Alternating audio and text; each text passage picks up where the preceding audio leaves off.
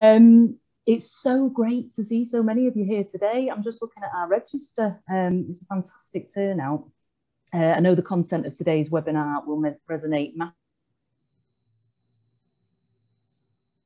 starting to sort of navigate our way slowly out of lockdown. Um, and I guess the uh, forced inertia really that businesses have found themselves in. So with that in mind, um, let's get cracking. Um, for those of you who are unfamiliar with the webinar environment, look at the webinar controls. Um, you can select audio settings to select and test your speakers because you don't want to be missing out on my dulcet tones. Um, and if you want to submit any questions uh, via the question and answer button, just feel free to type those in at any point. Um, we're going to try to answer your questions at the end of the webinar. And if you need to leave the meeting um, at any time, uh, just click leave meeting. So that's most of the, the techie sort of info outlined there. Um, and I'm going to introduce today's presenter, uh, Steve Price, who is director here at Inspire. So without any further ado, welcome to Steve.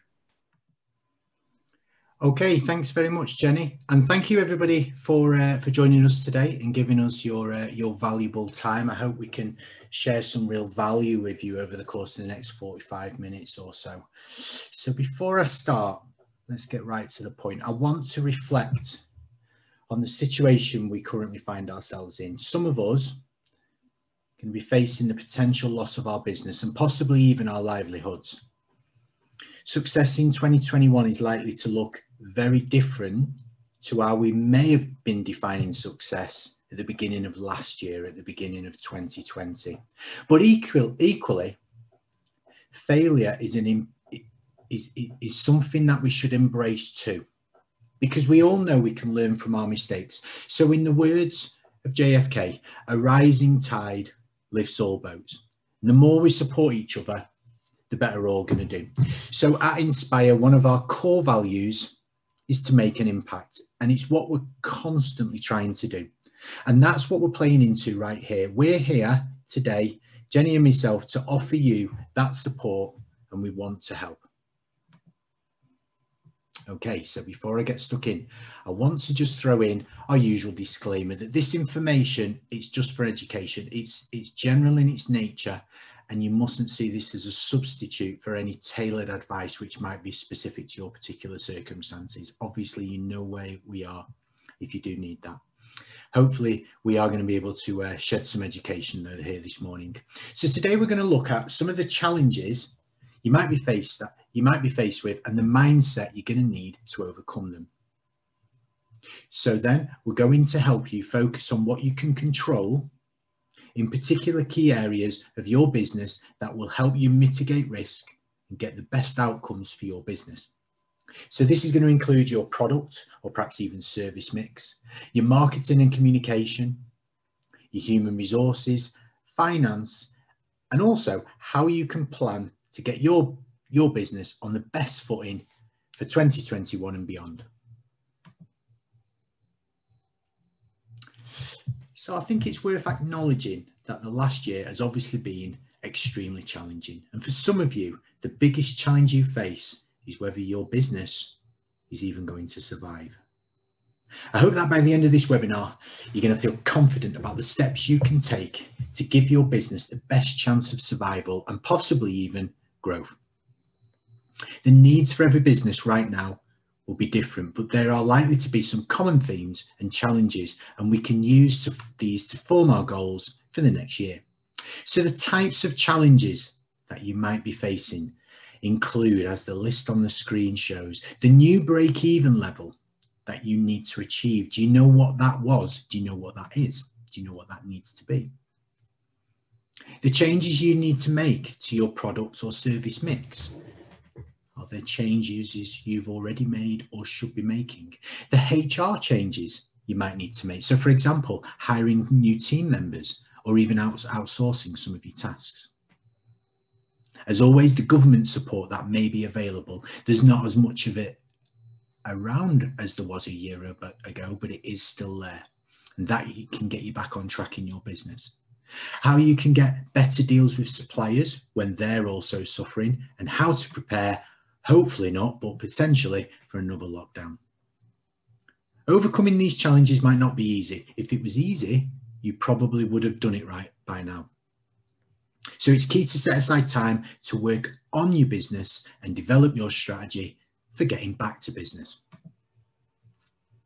Okay, so one of the first steps you can take is to develop or possibly update your risk register. And that's going to help you profile your risks and establish your focus. Your risk register should identify the risks within each department in the business and evaluate the likelihood of the risk eventuating and the consequences for your business if in fact it, it does um, it does eventuate. By allocating a score out of five for each, you can multiply them to establish an overall risk rating, highlighting the most significant risks for you to focus on. So if you don't know what I'm talking about, or if indeed you don't have a risk register, then there's a template that we can give you. Towards the end of this webinar, there's quite a lot that we're going to be able to give away today. A lot of what we're going to be showing you, we are able to give away as resources. And this is the first one here, a risk rest a risk register is something we um, we wholly advocate and we can provide a template for you. Okay, so I know I'm most likely preaching to the converted here when I talk about embracing change. I mean, after all, you've been dealing with change for at least the last 12 months, possibly more. So I want to share with you a couple of mindsets relating to change to ensure you don't take your foot off the change accelerator just yet. I'm sure you've all heard of Einstein's famous definition of insanity, and that's doing the same thing over and over again and yet expecting a different result. Now is clearly the time to do some things different. So let's have a look at these five A's of change. So the first step is awareness. It's awareness that change is needed and that without that change, your business is going to be impacted. Are you aware of all of the necessary changes? Probably not. We don't know what we don't know, right? Hopefully, by the end of today's webinar, you'll be a bit clearer on some of the changes you need to implement. Okay, so the second A is that of acceptance. To get back to business, we must accept that will need to make the changes. The next one is action. Without action, there will be no change. I think that's probably quite obvious. We must determine the actions we need to take as part of the plan for getting back to business. If you're anything like me, awareness, acceptance and action is not going to be enough though. We may have the best of intentions, but things get in the way day to day if we don't make the time to take those actions. So the fourth A is for accountability. We need somebody independent to check in with us, to keep our plan up to date and make sure that we do actually act, that we do take action.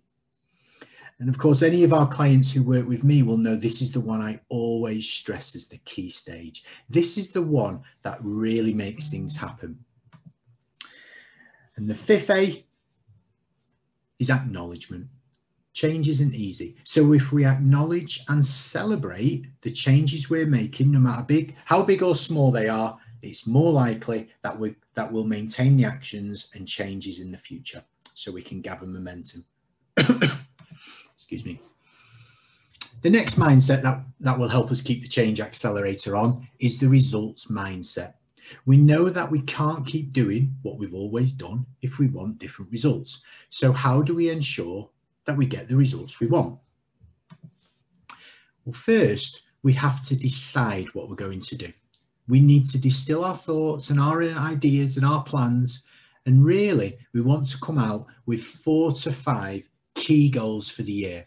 If we do many more than that, we do stand the risk of overwhelm. So it's important to have decisions, but it's also important to distill them or refine them down to key decisions and tasks that we need to do. Then, once we've got that list for each of those goals, we need to break them down into individual actions that we can then take to ensure we achieve them. These goals and actions form the basis of what is basically our plan, our business plan. And then going back to the fourth A of change, unless we have some degree of accountability, it's likely that other things are going to get in the way and the plan won't become a reality.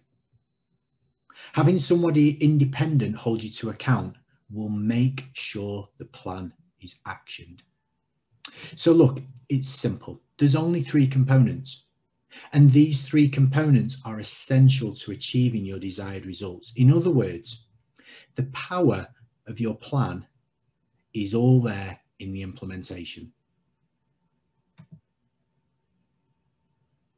So as we embrace and we set our new plan, we need to get very clear on our focus. What are the areas which are within our control and will have the greatest impact on our results? We also need to consider things that we should stop doing so that we can free up our time to do these new things. Because what we can say yes to is defined by what we say no to. Let me just say that once more. What we can say yes to is defined by what we say no to. How many of us are guilty of never saying no, saying yes to everybody? All good intentions, but ultimately somebody gets let down. What we can say yes to is defined by what we say no to. That's a huge mindset there. And the reason I stress that so much is it's one I constantly try and remind myself because it's something I'm very definitely guilty of. So to help get back to business, there are five key areas which are likely to have the biggest impact. So let's work through this list. Firstly, working on the business because it's essential that you take time out of working in the business to work on it. We've talked about this many times before.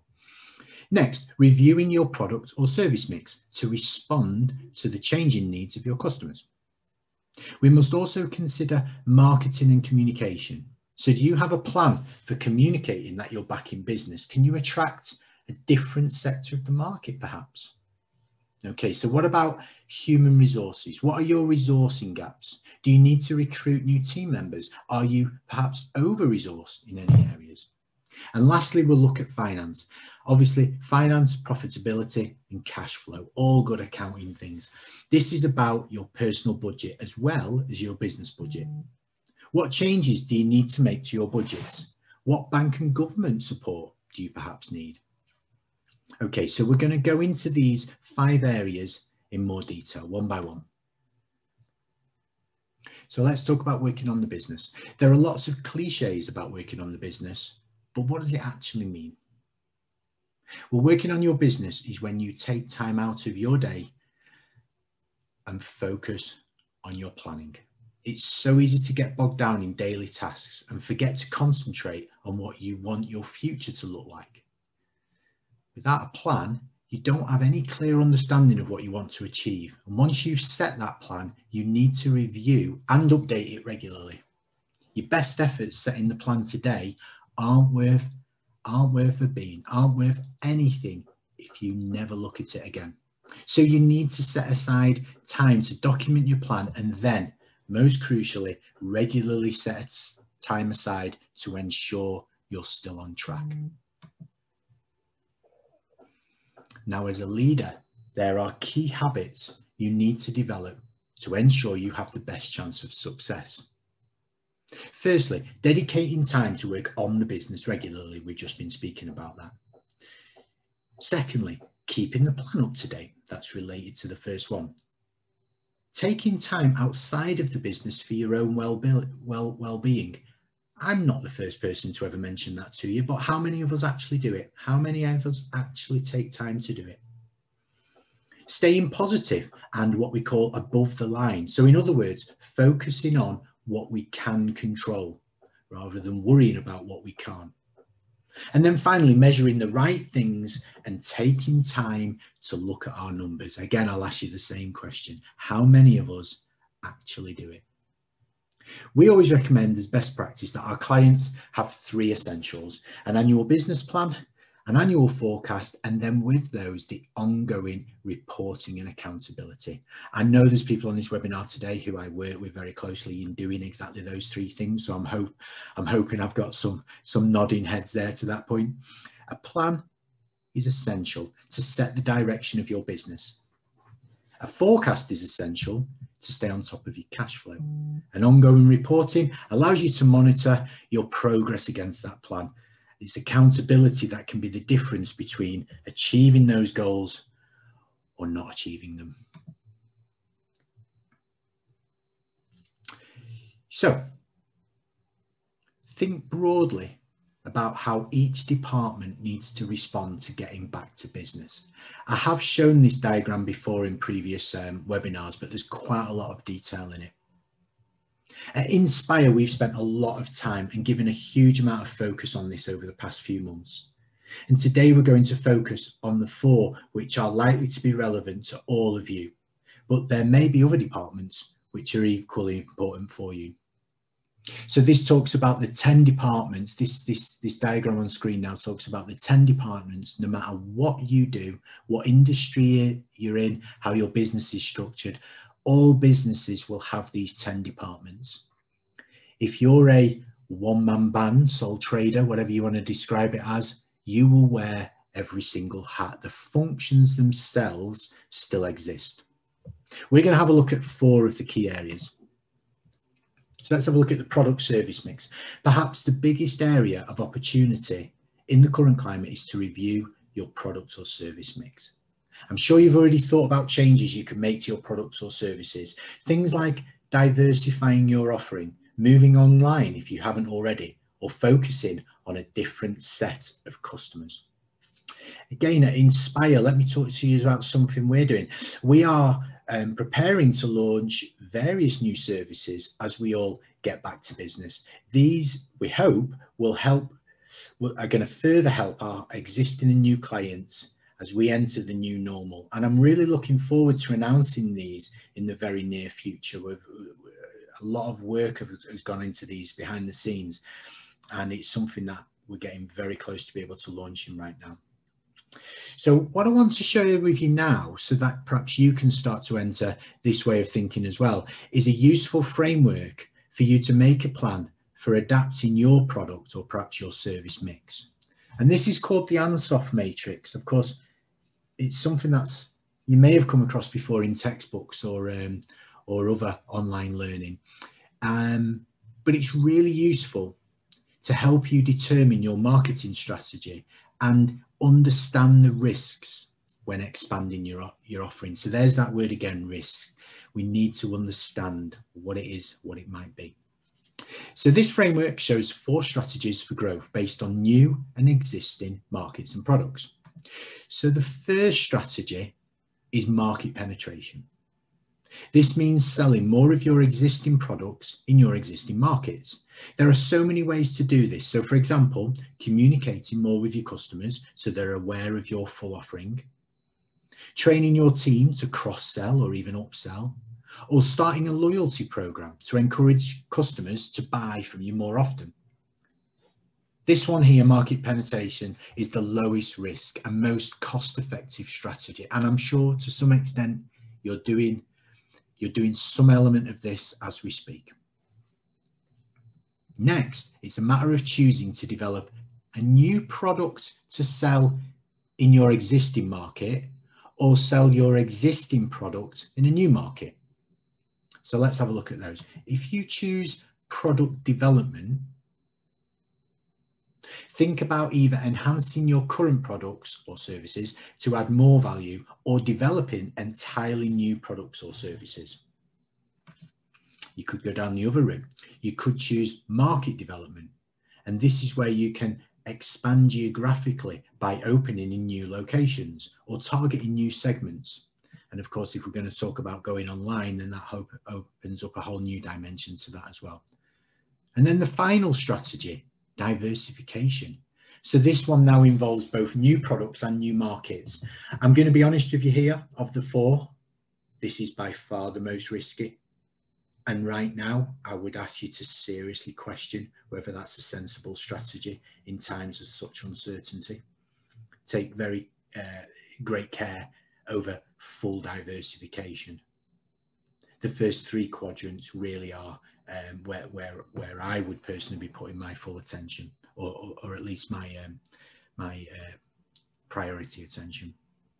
What's important is to avoid trying to take on too much at once. So start with just one or two strategies, which will help you sell more of your existing products to your existing markets. And of course, that's all about market penetration. So as part of your review of your product or service mix, you're likely to review your pricing.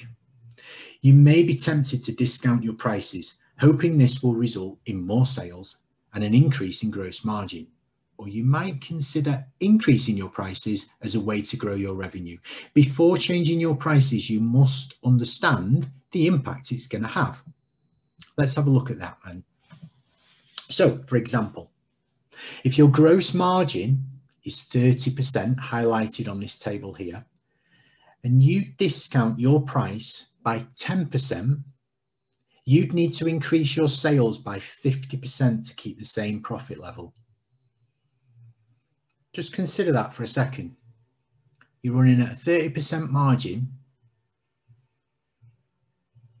and you quite easily say, okay, let's go for a 10% discount. Sounds fine, doesn't it? Sounds fair, 10% discount. Yeah, okay. In order to maintain overall revenue, you then need to go out and increase your sales by a whopping 50% just to keep the same profit level. Let's have a look at this the other way around. If you choose to increase your price by 10% at the same gross margin, now you can afford to reduce your sales volume by 25% before your gross margin will reduce. So look at the look at the power of price increases. If we're debating whether to increase our prices again at that same margin level of 30%, if we increase prices by 10, we know that we might not make as many sales, but we can afford a 25% drop off. Right now, I know you're looking at this table and you're looking at where your margin sits and where your figures will be. So what I'll say is if you want these tables after the webinar, we'll send them over to you so you can establish your pricing levels. At the end, at the end, anybody who's been on our webinars before will know this. We take you to a screen. Uh, there's a very short survey there and there is a tick box. If you just tick that, drop us your email address, we'll get these tables over to you. Um, that and that and a few other things as I've already said. And also if you're unsure as to what your gross margin is, so this is all okay, Steve, this is great, but actually I don't know which column to look at because I'm not sure of your margin. Well, that's really something you should know. And of course, you know where we are. I'd be more than happy to talk through that with you, talking about your numbers and understanding what your present gross margin is. Okay, let's turn to the next one. There has never been a more important time to get clear on your marketing and communication strategy. One thing's for sure, your loyal customers will be eager to support you as you get back to business, and there lies an opportunity for you to broaden your customer base. By clearly communicating your intentions across multiple channels, your advocates can like, tag, share, or whatever, but basically show their support for you online.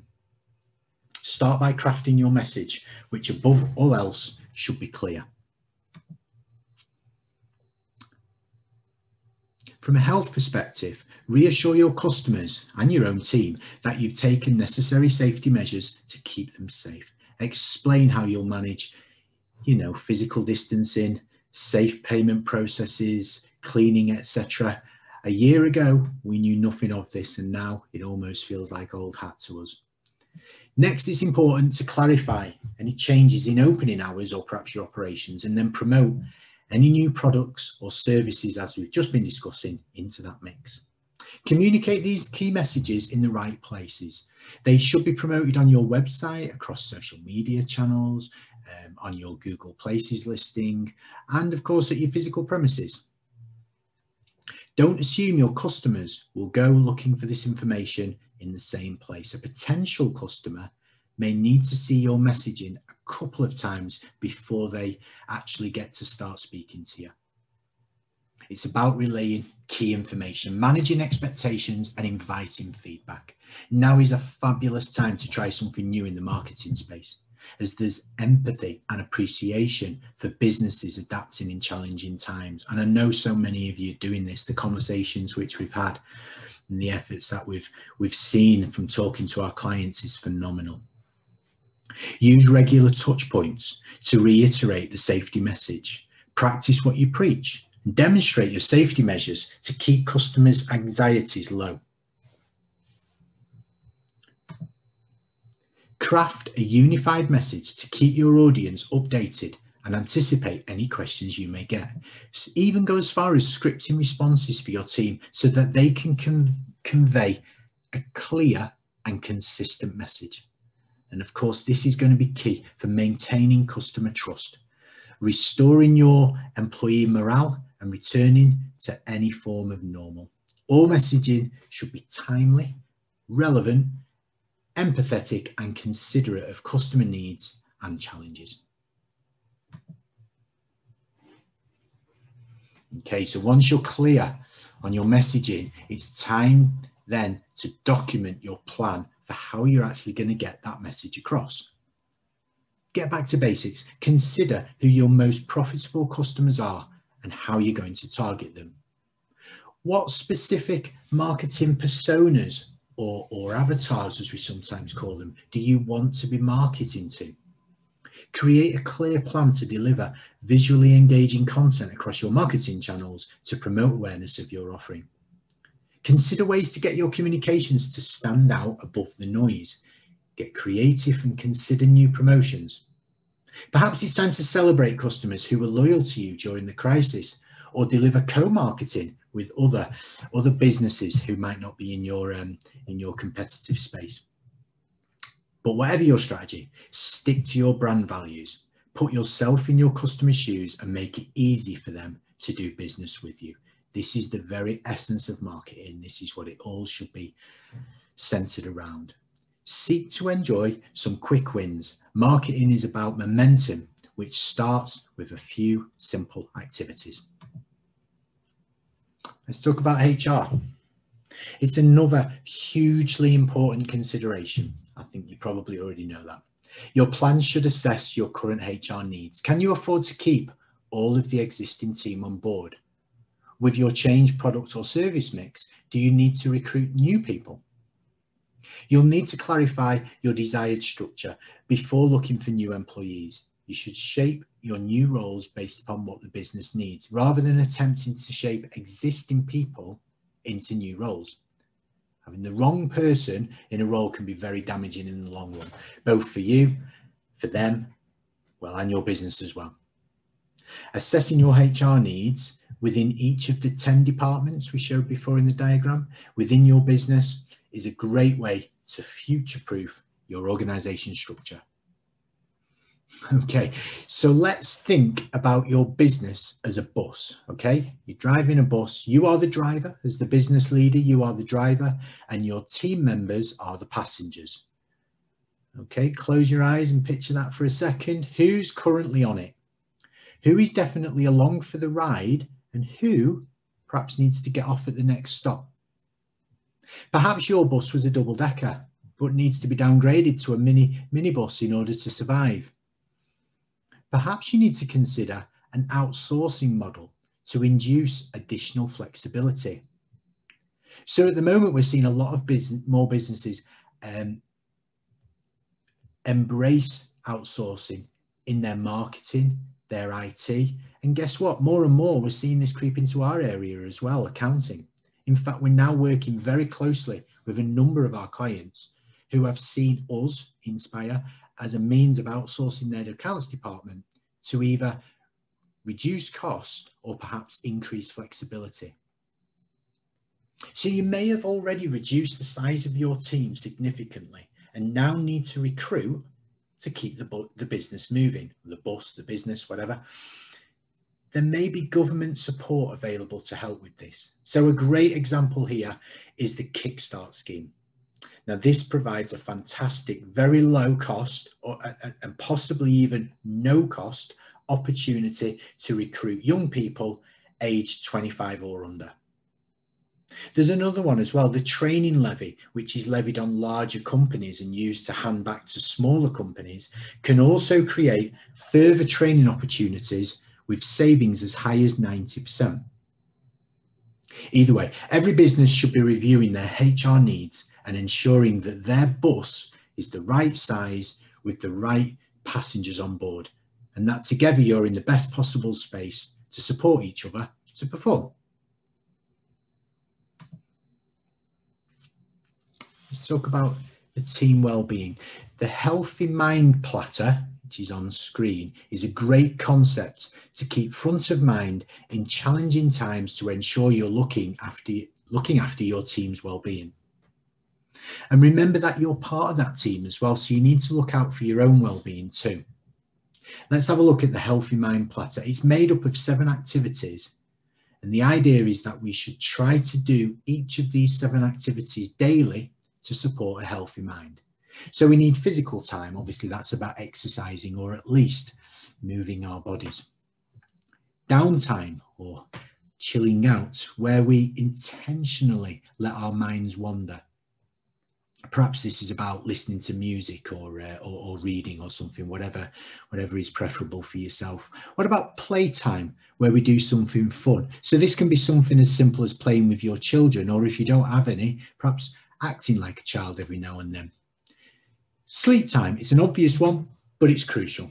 And we need to remind ourselves of the importance of getting six, maybe eight hours of quality sleep every night. Everyone's different, but do you know how much sleep you need? Time in. This is spending time reflecting inward. This may be journaling your thoughts. Perhaps it might be meditation or yoga. It's getting more and more popular and there's various online options through which you can do it. I'll admit to you all now, it's something I do occasionally, but know I should do more. Focus time. This is focusing on one thing with discipline. And lastly, connecting time is essential. For most of us, this means connecting with other people. And we are finally starting to get to a place where this simple pleasure is possible again now after what seems like an awfully long time. The winter long, the winter lockdown, it just feels like has been so much lo longer than the summer one. Don't be overwhelmed by these seven activities. Even just five to 10 minutes a day of each one will help you maintain a healthier mind. And some things you will need to do tick several boxes. So for example, if you're going to play with your kids, maybe outside, then that's then that's creating, you know, connection time and it's creating physical time at the same time. It doesn't need to be 70 minutes of, um, of, of, of ticking all these seven things off individually. So let's talk about your team. What are you currently doing to support your team's well-being? And what could you start doing? We recommend talking with your team about how they're coping. A great way to understand their well-being needs is to do a team reflection survey. So let's talk about Inspire for a second. Last week, um, we held a very informal team event just to get us all engaged in something together other than work. So we held it online, obviously, but it offered just a just a small bit of respite. I know some of the team will be listening um, on, on this uh, webinar today, and we will be doing our, our own well-being survey, um, I expect next week, certainly in the next two weeks. So we've created a template for this and to everybody on this webinar today, it's a template we're happy to share with you. By reflecting on your team's experiences over the last 12 months, you'll be better equipped to support them and ensure they're in the right frame of mind to be productive in the future. So all about what we've talked so far will have an impact on your finance it's going to have an impact on your profitability and on your cash flow. It's important to get the order right here. So start off with your personal circumstances and determine your personal budget for the next 12 months. And then, only then, do your business budget and see if your personal budget is achievable given the business's cash flow and profit forecast. What I'm saying here, here is, can your business afford to keep the budget that you expect to need in your own life? That connection is vitally important to you. So let's look at these aspects in more detail. The first step is improving cash flow and reducing the stress and the strain on your business is to review your personal budget. What different spending habits have you adopted recently that should carry on? What old habits or costs can you eliminate? We've got a great personal budgeting template we can share with you. And again, I'll just say another time, you can um, select that off the um, survey at the end of this webinar. And um, if you do, we'll get that sent across to you. So then you're going to update this person, the, the, sorry, then you're going to update the business budget. This is a more complicated exercise as it pulls together the different scenarios you're planning. For example, if you're going to introduce a new product or a new service, you need to project as best you can what the predicted sales will be and what the predicted costs will be. Different marketing and communication decisions will also have an impact on business cash flow, as will your HR decisions. Your business budget then becomes an iterative process that will need constant review and updating. So you can work with us. We can factor in some of the more complex aspects like the tax, um, any grants you might be able to get, obviously um, the, the, the implication and the interest costs of any bank finance, what the implications of any capital expenditure might be. And we can also help you with managing your cash flow off the back of that. So if you struggled with cash flow in your business, it will come down to one of one or more of these seven causes of poor cash flow. Having a close look at these as part of your planning will be essential. So let's go ahead and have a look at each one. The seven poor, the seven causes of poor cash flow. So the first is your accounts receivable or your or your or your debtors process. Credit control, call it what you will. Who do you give credit to? What payment options do you give them? And what do you do if they don't pay? If you could reduce the number of days your debtors take to pay you by, let's say 10 days on average, how much cash would that put into your bank account? It's a calculation which we can help you with. The second, the second part possibly obviously it's the flip side it's the accounts payable or the creditors process. What controls do you have um, about how you spend money? Can you get a better deal with any of your suppliers? And the next one is your stock process. Do you need to hold so much stock? What lines of stock should you no longer supply? What controls do you have on ordering? Having an appropriate sorry having an inappropriate debt or capital structure can cripple your cash flow. For example, even though interest rates are generally low right now, should part of your overdraft or your credit card debt be converted to a longer term loan? Should you sell other investments to repay debt in your business? Number five, overheads are the costs, which of course don't change based upon your sales level. Things like you know, utilities, rent, maybe advertising. You should be reviewing these costs at least annually. Can a different utility company provide a better deal? Are your premises still the right size for your business? These are the questions you need to be asking. Number six, your gross profit margin is what's left from sales after, deduct, after deducting the variable costs. So what can you do to increase your margin? Can you reduce any wastage or inefficiency in the system? Can you improve your productivity? Can you increase your prices? We talked about that earlier on. That's a very quick win towards um, improving your gross margin. And remember, obviously, from the table we looked at earlier, we can start to quantify how that how those um, impacts can go through. And then finally, number seven, your sales level might be too low especially due to the any sort of COVID impacts that have come or lockdown impacts over the last year or so. So we need to look at different ways you can grow sales, and we're going to be doing that next. This list might be overwhelming, but you simply need to pick one or two off the list and focus on these strategies. The key is in their implementation.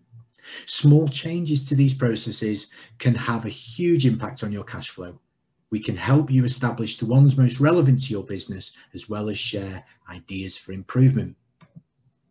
So let's just very quickly have a look at those routes into growth then, because um, this is one of the key areas we can we can improve our business and our cash flow at the same time. So we've got seven ways to grow your business. The first five all relate to increasing sales. Remember, we just saw that low sales levels were a key to a cause of this poor cash flow. And then the last two I'm going to cover as part of the seven relate to reducing your expenses. Now, you may not think you're in a place to grow your business right now, but these strategies are so important for getting back to business and recovering as much as possible. So the first is to increase your customer retention rate. This is always going to be number one. What can you do to delight your customers and make them want to return to you? Do you know what is your what it is your, your customers want? What is your current communication strategy with your customers? Everybody knows it's a very old tried and tested adage that it is easier to keep current clients than it is to go out and win new ones. The second one is to generate more leads or attract more prospective customers. Reflecting on what we've discussed today, what can you do to get your brand and business in front of more target customers? The third is to convert those leads into customers? What can you do to increase that conversion rate?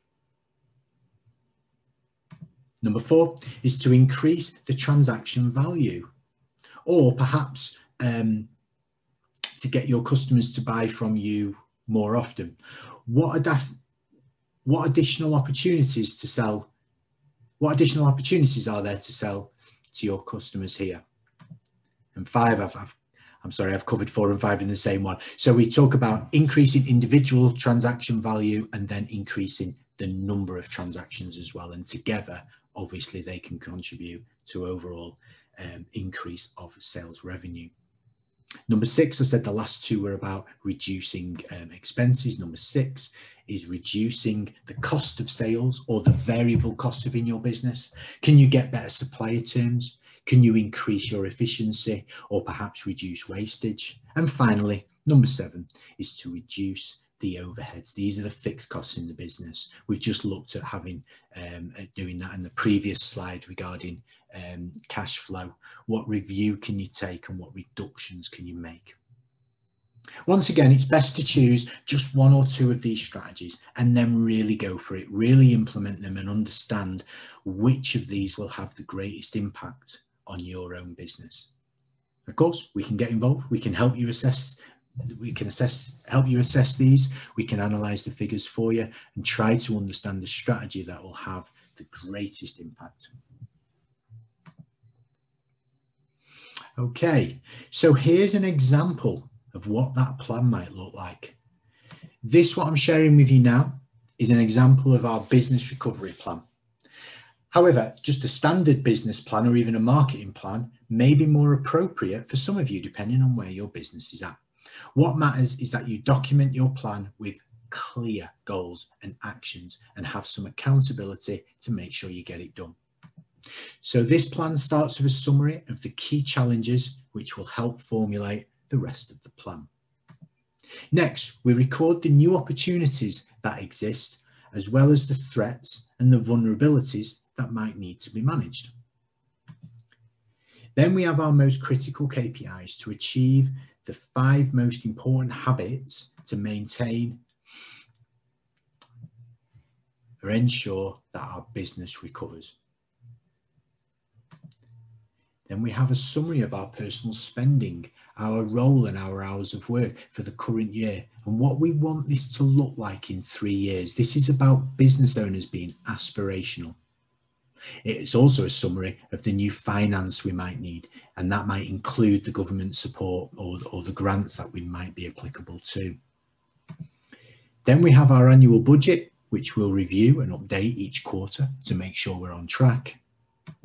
Mm. And finally, I'm sorry, I clicked too fast.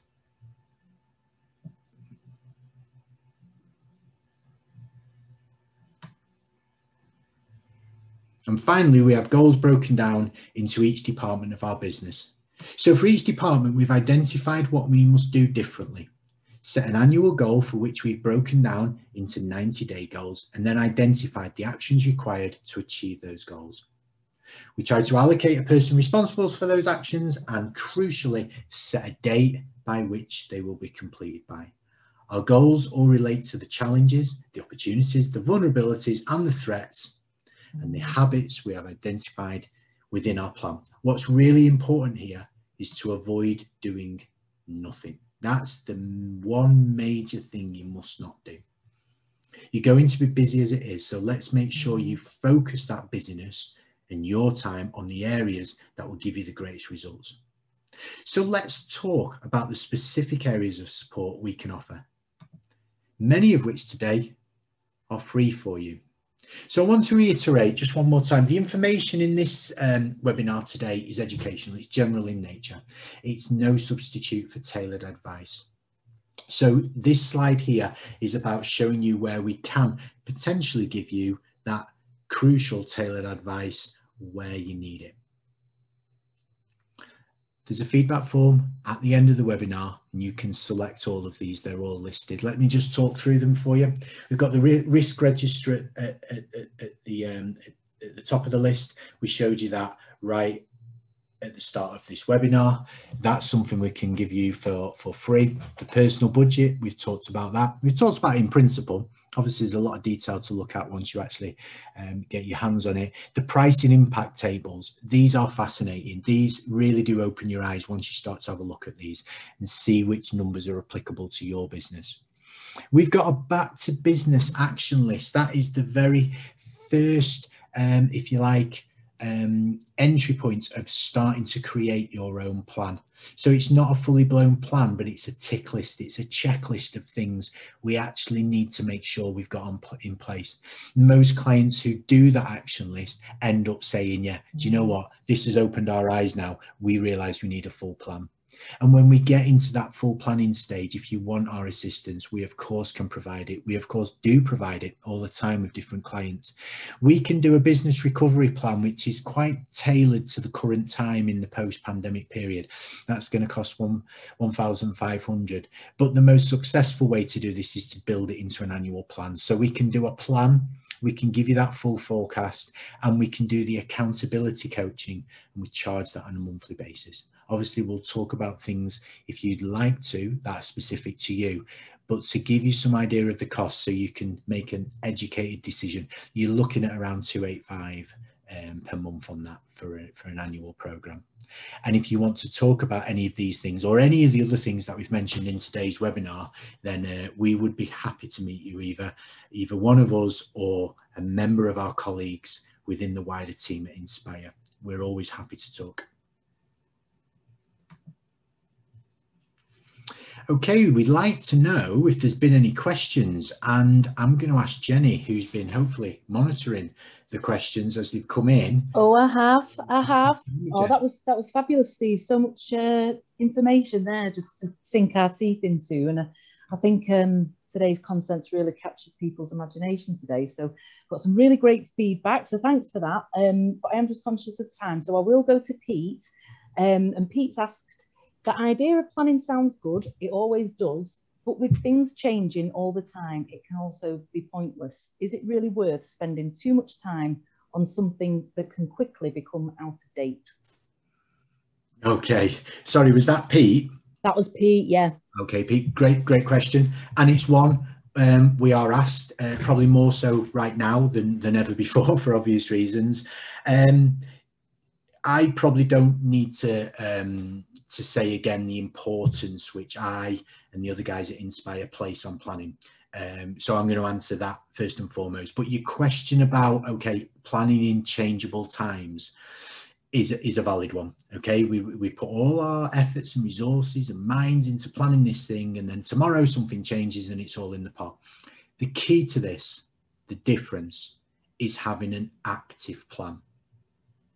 Our methodology is very much that we don't just write a plan, write it up, send it across and say, good luck with that, guys. We're going to speak to you in a year's time to see how it all went on. It's, al- it's almost a pointless task um, for the reasons you've just outlined there. You need to keep that plan active, but you should still have a plan because that plan is there to keep you accountable. If you don't have a direction to go in, you just wake up every morning and say, What are today's challenges and deal with them? Go to bed, get up the next day. You turn around after 90 days or maybe a year and say, Well, where did we end up? We had no idea where we were going, but let's have a look where we ended up. You can't operate a business like that. And you particularly can't operate a business like that in 2021. So I would say, more than ever is the time to make sure you've got a plan, but it has to be an active, a fluid, a flexible plan. Fantastic. I'll come back to the sorry, sorry, Jenny. I'll just I'll just yeah. come back to the adage that what gets measured gets managed. It's a very old saying. It's just as applicable in sport as it is in business. What gets measured gets managed. If you don't have a plan, you don't have anything to measure against, and your management is immediately diluted. But the key to your answer, Pete, and I know this is a long answer, the key to your, and I think I said this earlier in the implementation, the power of any plan is in its implementation, not just in writing it out. So I hope that answers the difference between a, perhaps a traditional plan and what we're really trying to advocate right now. Brilliant. Sorry, yeah, no problem at all. No, that's that's fantastic. Yeah, I hope that's answered your uh, your question there, Pete. Um, and then we've got one from Amy who's picked up on something that you mentioned earlier on in the webinar, Steve. It's um, how do I find out more about the Kickstart scheme? The Kickstart scheme, yeah, I mean, so this was announced by the government a long time ago, and then it went, went very quiet, very hush hush, and then they did re-release it. Um, and, and and to begin with and this is a key bit of information here to begin with they came out with what was a somewhat ridiculous notion that in order to use this scheme you had to take on 30 apprentices all at the same time which rendered it completely useless to anybody in the small business place they've since removed that i'm very glad to say and the kickstart scheme is very much up and running we released one of our keeping in touch emails about this around a month ago, um, possibly six weeks ago now, when when the new details of the kind of uh, rescheduled scheme came out. Steve Richardson, who puts together our um, keeping in touch um, um emails and newsletters, um, did a piece on this. If you want to get in contact with us, we can resend you this. Um, but we have clients who are heavily involved in this. Obviously, you, you need to go through the government to actually apply for it. We can give you some um, anecdotal advice. It's still very new, so we wouldn't claim to be experts on it. But reach out to us, get in touch. We can either hook you up with some of our clients or point you in the right direction. Fantastic, great stuff. Um, yeah, like so, a bit conscious of time, so um, I'm just going to go to some fantastic feedback that we've received from um, from from Joyce about the webinars, and received some lovely. Um, you can see it in the chat there from Catherine, um, just thanking us for the for the webinars. Um, accountants, which is just lovely to read. I'll let you uh, look at that, Steve, uh, when, the, when the webinar's finished. But these these are such fantastic added value, um, these webinars. And especially, I've been really excited about this one because it just feels like we've been taking that first step on the ladder into making uh, pre-lockdown plans a reality. So I just want to thank everybody for their engagement, involvement um, today. Um, and I just think it's your input that makes it vital um, in making these webinars a success. So from my side as moderator today, I'd just like to say thank you. Oh, that's brilliant. Thanks, Jenny. It's been great doing this with you. I'll tell you what I am going to do. I am going to read these out because actually, Jenny, there's only me and you can see these. Um, ah, okay. Yeah, I, I, didn't know that myself, but I'm learning as we go. So I, d- I don't know if you want to read them out or. or, or uh, yeah, sure. Can read, uh, uh, Catherine, um, this is such valuable stuff. Thank you, Steve and Jenny. Um, I first met you, Steve, last summer, and it was a similar webinar you delivered that caused me to question why on earth I was receiving such a different service from my then accountant. The move to Inspire was a no brainer, and I've not looked back. Thank you for looking after us so well which is just absolutely brilliant. Um, and then we've got um, another one from Jonathan, which is a um, fantastic, informative and relevant webinar. Many thanks and well done, Steve and the team. Um, and again, we've got one from, from Joyce who says, uh, super, super webinar, very well done, folks. Um, so yeah, all fantastic, great, great to hear Great to hear. Oh, that's fantastic. Thanks for that. Thanks for that, Jenny. It makes it makes it worthwhile. And thanks, thanks for you guys. I know um, I speak to Joyce and Jenny and um, and Catherine as well on occasion. So look, guys, if you need any of the resources or you want to reach out to us um, on any of this, then just just just fill in that gap and we'll be in touch straight away to see what what we can help you with. Fantastic. Thank you. For, oh, we just had another one in. Andy says thanks so much. Thanks for that, Andy. Let's move on then. I'm going to give you a final parting thought of the day. Um, let's just share this quote. Make a plan today for how to overcome the changes and the challenges you're facing. Commit to at least three actions you will take as a result of today's webinar. Write them down, give each of them an owner and a completion date. And remember, if you need our support, we are here for you. Now, again, if you if you've been on our webinars before, if you've seen this before, you will um, you will know that we always ask you to make three action to take three actions. If you'd listened to all of our webinars over the last year, you would now have I don't know how many it is. Let's say 30, possibly 40 different actions. If you'd have implemented those, just ask yourself, how different would your business be today, and how much more useful would it be to you and your personal goals? Please do take the actions. It makes such a massive difference to running a business. It really does. If you don't, if you lose, if you leave this webinar, turn your PC off and go to your inbox or your team and get involved in the day to day, you will undoubtedly lose the value that we shared from you. So that quote, the most successful people see adversity not as a stumbling block, but as a stepping stone to greatness. It simply leaves Jenny and I. So thank you for coming. Thank you for sparing the time with us. We've come in at just under an hour. I hope that's been okay. I'm sure it's your lunchtime coming up, so we can all look forward to a bit of lunch. Thanks for your time today. I hope it's been useful and feel free to reach out to us. Thank you. Bye-bye.